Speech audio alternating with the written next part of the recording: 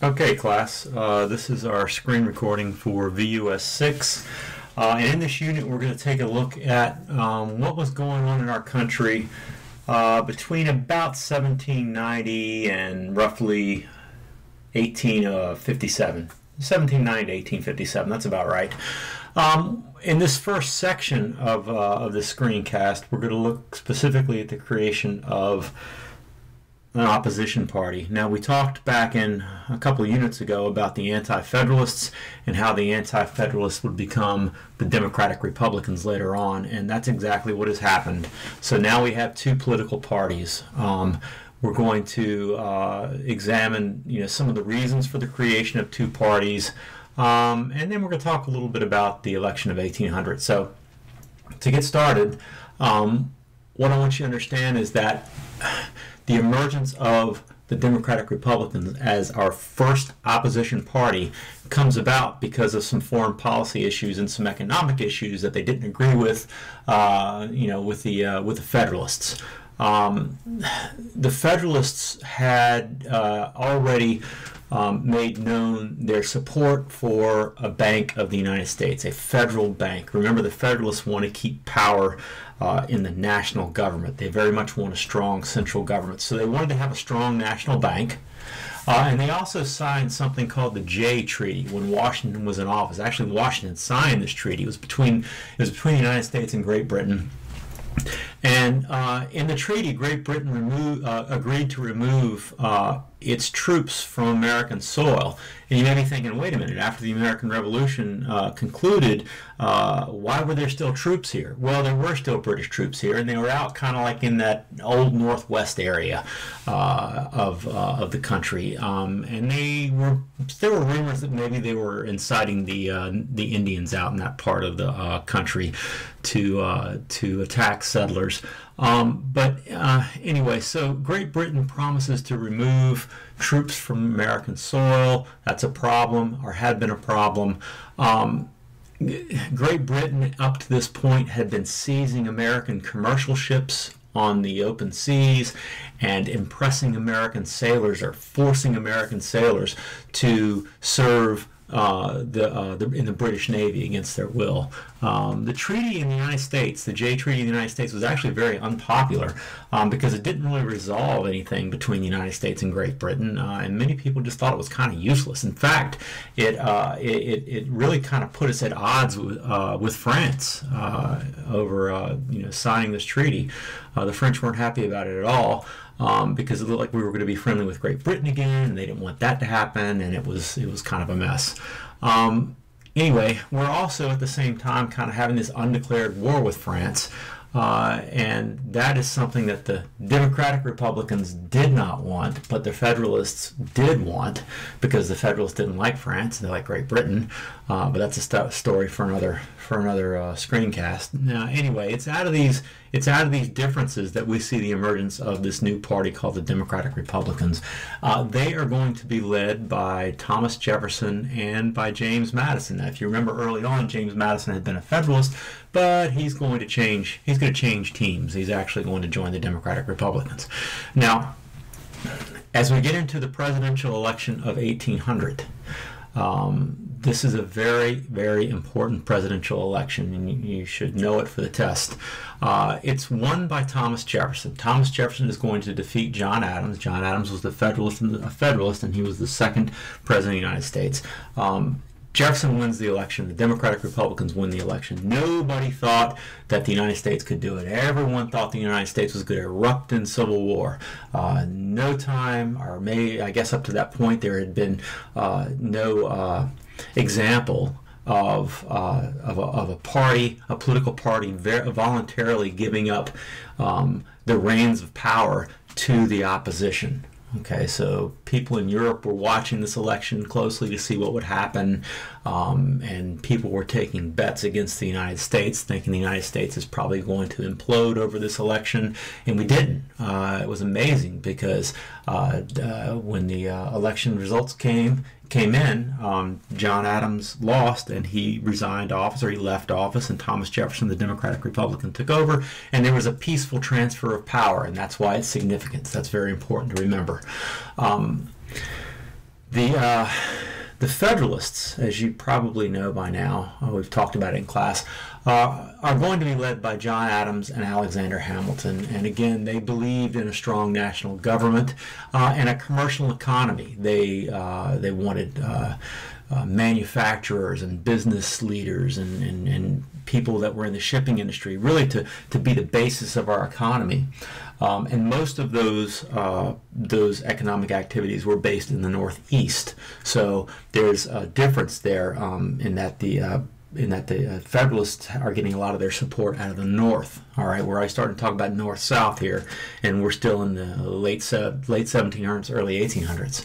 Um, the Democratic Republicans, like I said earlier, led by uh, Jefferson and Madison, uh, really want to keep the power in the state. They, they don't want a strong national government because if you remember from the last unit, they feared that a strong national government would take power away from the individual, take power away from the state, maybe even erode the rights of individuals. So that that whole thing was an issue. If you remember back to the uh, uh, adoption of the Bill of Rights um, in 1791.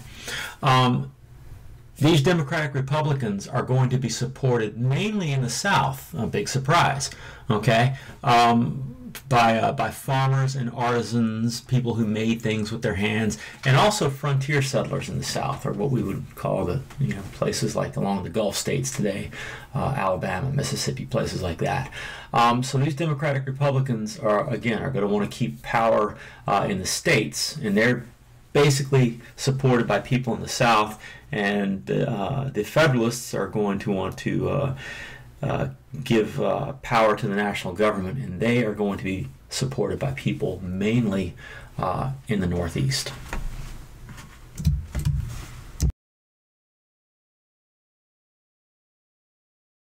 Okay, class, in this second uh, part of VUS 6, we will be looking at the period, uh, like I said earlier, 1790 to about 1856 or 57.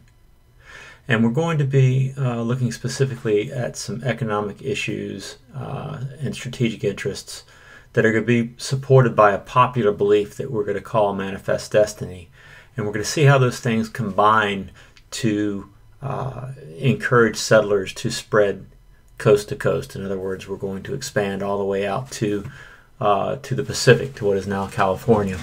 And in that expand in that expansion, we're going to have uh, conflicts with American Indians um, as settlers pour into their territory.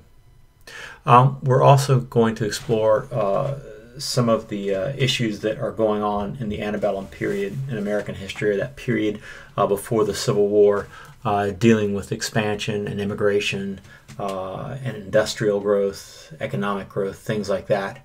Um, all again, a lot of it's going to be all or most of it fueled by this this belief in, in what we call manifest destiny. Okay, so that's kind of a an introduction uh, uh, into where we're going in this uh, in this section. Um, the first thing we're going to start with really is expansion that came about because of the Louisiana Purchase. Um, Jefferson, uh, if you recall, is elected in 1800. Um, in 1803, the same year of the famous court case Marbury v. Madison, just for review, uh, if you recall that uh, that court case and the key principle coming out of it being judicial review. Uh, that same year, um, Jefferson is going to purchase uh, the Louisiana Territory uh, from France. Uh, and that is kind of a shocking development because Jefferson is a Democratic Republican. And we know Democratic Republicans, if you recall, didn't believe uh, that you could do too much uh, politically that wasn't listed in the Constitution. In other words, the uh, Democratic Republicans were very conservative uh, in how they interpreted the Constitution. Uh, historians would call them strict constructionalists. Um, but Jefferson, in this case, didn't behave like a strict constructionalist because uh, at the first opportunity to purchase Louisiana from the French, he did. Um, he bought uh, the entire Louisiana territory. Um, actually, he really just wanted to buy, as I recall, just wanted to buy New Orleans so that we could get our uh, get our crops on barges down the Mississippi River and then out into the Gulf uh, and into the global economy. But uh, France needed money, And instead of just offering to sell the port of New Orleans, uh, they offered to sell the United States the entire Louisiana territory, and Jefferson uh, sort of snatched it up. Um, and he took a lot of heat for it uh, from Congress, uh, from his political opponents, because he really, there's nowhere in the Constitution that the president's authorized to buy up land, but he did. Uh, in fact, uh, his purchase um, doubled the size of the United States overnight. So it was uh, one of the greatest land purchases in history.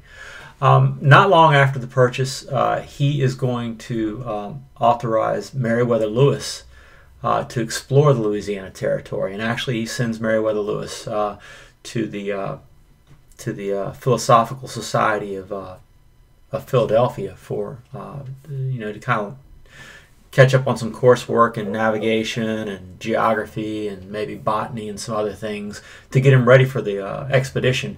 Uh, and he also uh, uh, tells Lewis, or Meriwether Lewis, that is, to go ahead and, uh, and, and pick someone to go with him. And he, of course, we know picks um, William Clark, his old friend. And the two of them are going to set out on this journey across the continent. Uh, it's not something we have a great opportunity to study in our course, and it's unfortunate because it's one of the greatest, I think, uh, stories in American history. They are going to take along with them uh, an Indian interpreter. Uh, many people call her uh, Sacagawea, but I believe the uh, correct pronunciation is Sacagaway. Um, and she is a Shoshone woman. Actually, she's about 16, I think. Um, and her husband, whose name is um, oh, Toussaint Charbonneau, and about 48 other people. So actually, it wasn't just Lewis and Clark and Sacagaway. Uh, there were about 48 people on this expedition. Uh, and the expedition itself is called the Corps of Discovery. It's fascinating. Uh, it's a fascinating uh, story. If you are interested in it, I can recommend a video by Ken Burns. It's called The Corps of Discovery. I'm sure you can find it uh, somewhere on the internet. Uh, great story.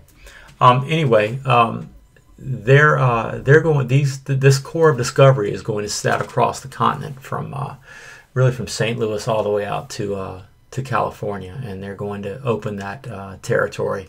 Uh, along the way, they're going to meet Indians and, uh, and, and offer peace tokens to them, and and they're going to survive. and it's a terrific story. Um, after after the Louisiana Purchase of 1803. Uh, Jefferson's going to leave office. Uh, James Madison is going to be our fourth president. And it's during James Madison's administration that we get into the War of 1812. Uh, and uh, this is a war that we, it's really our second war with Great Britain. Um, we're going to win the war. Uh, it's going to be, um, a lot of it's going to be fought, in fact, all of it's going to be fought along the East Coast, especially the, up in the, uh, the Northeast Coast and the, the Middle Atlantic. Um, it's going to our victory in the War of 1812 will uh, produce a claim in America to the Oregon Territory, which was a contested territory at the time. Great Britain claimed it. Uh, I believe Russia had been up in there looking around, uh, trying to make land claims. But this is going to give uh, the United States claim to the Oregon Territory, and it's also going to increase migration uh, into Florida. Uh, Florida at the time was controlled by Spain. Um, and Americans are going to start pouring into Florida. Uh, Spain has lost virtually all of its territory in North America except for Florida, um, and I think uh, I think Spain could kind of read the writing on the wall. They knew it was it would be very difficult uh, to hold on to Florida. Um, uh, with uh, the United States claiming all the land around it. So I think very wisely they struck a treaty with the United States in 1819 called the Treaty of Adams-Onís, uh, and they uh, they uh, cede that uh, territory that's Florida we call Florida today to the United States. Um, again, that's 1819. Um, the next thing out of this section that you want to be familiar with is the Monroe Doctrine. We're jumping ahead again to 1823. Um, James Monroe uh, is the president, uh, but the uh, doctrine is actually written by John Quincy Adams, um, the, uh, the former president's son. The, um, the Monroe Doctrine has four important points that you'll want to know. Okay, uh, and I'm just going to list them for you here, uh, and they're also in your notes. the first point is that the American continents uh, should not be considered for future colonization by any European powers. Okay, uh, that's North, Central, and South America. Uh, the second point is that uh, nations in the Western Hemisphere were inherently different from those of Europe in that they were republics by nature. They're not monarchies. Uh, in other words, if you uh, think about a republic, um, in a republic, people who are eligible to vote uh, elect representatives. Uh, in fact, if you look at the word representatives and the, and the word republic, they, they even kind of look alike a little bit. Um, and uh, that's that's different from uh, what's back in the old world in Europe, uh, where there are still kings and queens. Okay. Um, the third point is that the United States would uh, not look too kindly at any attempt by European powers to colonize or impose their will on any country in the Western Hemisphere. In fact, the United States would consider it a threat to its own safety. And the first, oh, I'm sorry, the fourth point would uh, would be uh, that if the United States, I'm sorry, if Great Britain would adhere to the terms of this this policy or would uh, would honor this policy, then the United States would stay out of the affairs of Europe. So, 1823, uh, the Monroe Doctrine, and this is uh, really the United States sort of staking its claim uh, in the Western Hemisphere. In the next part of, uh, of this section, uh, we talk about the westward movement of settlers and uh, economic development in the period. Um, we know that uh, starting early in the 19th century, American settlers are going to start streaming westward um, into what is now Indian Territory, uh, across the Midwest, into the Southwest, and even into Texas. Uh, and they're looking for economic opportunity, really in the form of land to own and to farm. Um, one of the things allowing this movement of settlers is the growth of the railroads and the canals. Uh, railroads are going to help move people and goods and supplies, materials across into the into the west, uh, and canals are going to help farmers get their goods uh, either down the Mississippi River to the port uh, at New Orleans, or through a series of canals uh, to the uh, to the east for example, the Erie Canal, to get to open up access to the big ports on the East Coast for Midwestern farmers. Very important. Um, another factor is going to be Eli Whitney's invention of the cotton gin. Uh, that gin is a machine that allows one person to to clean the seeds out of a cotton ball. Um, very uh, before the cotton gin, cleaning cleaning the seeds uh, off from the cotton, uh, the husk, uh, and anything else, any other foreign material in that cotton fiber was uh, very labor intensive. Uh, slaves usually did the work, um, and it really it really slowed the whole process of cotton production down. In other words, it sort of bottlenecked everything on the plantation farm. A plantation could, could produce you know tons and tons and tons of cotton but it could only sell as much as it could clean. So um, the cotton gin is going to allow uh, uh, plantation owners to clean cotton faster, um, and that is going to uh, increase the demand for uh, more cotton. Um, cleaning cotton faster allows uh, more cotton to go to market, which drives the desire to plant more cotton and harvest more cotton and increase profits. Um, and ultimately it leads to uh, the demand for more slaves across what we would call the cotton belt or the cotton kingdom which runs mm, kind of from about smithfield all the way uh, down around almost to texas. Uh, that whole swath of land across the gulf coast um, is going to be part of the cotton kingdom where cotton is the main crop. Um, as people move into that area along the gulf states um, ultimately that migration is going to take people into Texas. Uh, and that is uh, in time going to lead to uh, a revolt against Mexican rule. Uh, that part of, or actually, Texas was, was controlled by Mexico at the time. Uh, and as Americans streamed in, um, they wanted to be part of America, part of the United States. Um, and Mexico was not ready to give that land up. So there's going to be a very famous battle. You've probably heard of it, the Battle of the Alamo um, where you have uh, a handful of Texans uh, uh, fighting against vastly overwhelming numbers of, uh, of Mexicans in this battle. And the although the Texans are going to lose, the Alamo is going to be captured and people in it are going to be taken prisoner or killed. Uh, it really is just kind of the tip of the iceberg because ultimately Texas is going to uh, declare its independence and actually fight Mexico for that that uh, that independence, and they're going to win.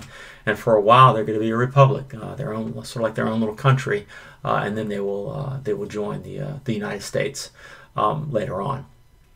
Uh, the victory later on, actually, speaking of uh, war with Mexico, uh, we are going to have a war with Mexico between 1846 and 1848. Um, the United States will win that war, and Mexico will give its land in the southwestern corner of the country, of what is now the United States, uh, uh, uh, to uh, the U.S. government. It's called the Mexican Cession.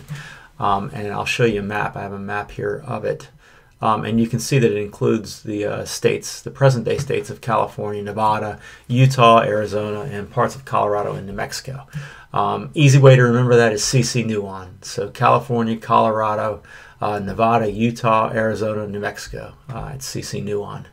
Um, and then ultimately, this, this whole drive across the continent uh, to the West Coast is going to be fueled by an idea called manifest destiny. Excuse me. It's a, a term that was coined by, uh, by a journalist, I think, in the 1820s. Uh, and it, it, sort of describes um, the, the, uh, the desire to to move American civilization from east to west and to populate all those lands between the Mississippi River and the Pacific Ocean and to spread uh, American culture. Um, it, uh, it is uh, going to be a driving force, uh, popular idea. Um, the idea that the West is the promised land, the land of opportunity, uh, and uh, with the East Coast filling up, East Coast cities filling up, um, with uh, immigrants, uh, people coming in from all over.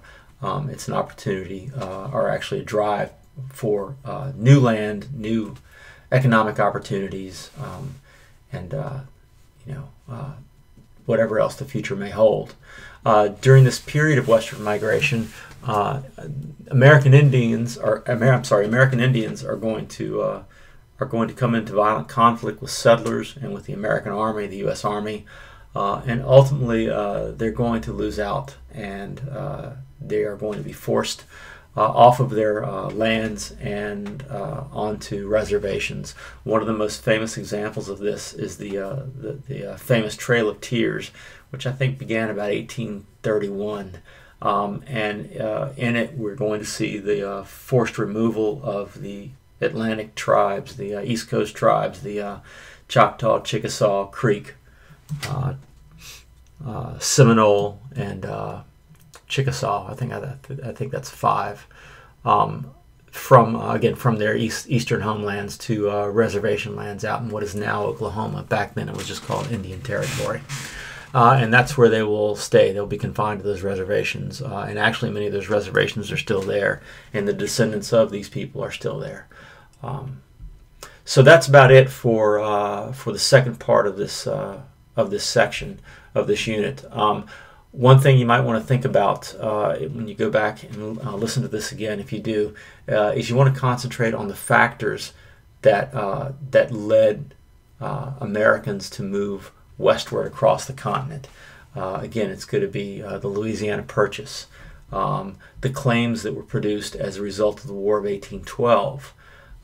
it'll be the idea that there's economic opportunity in the West um, the cotton gin, uh, the spreading of uh, slavery across the Gulf coasts, um, and manifest destiny. Uh, all of these things are going to add up um, to a drive uh, to take Americans across the continent.